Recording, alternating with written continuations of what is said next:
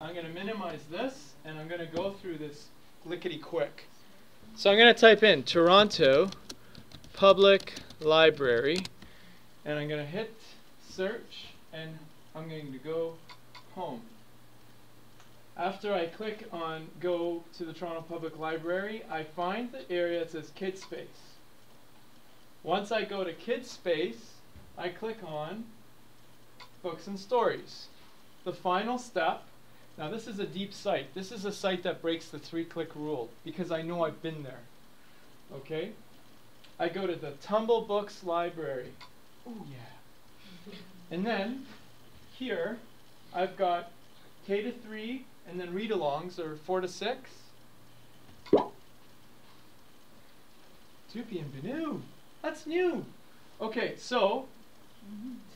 over here, Robert Munsch has his own section. I'll showcase Robert Munsch because it's him who's reading the book. And we'll go to my favorite, Something Good.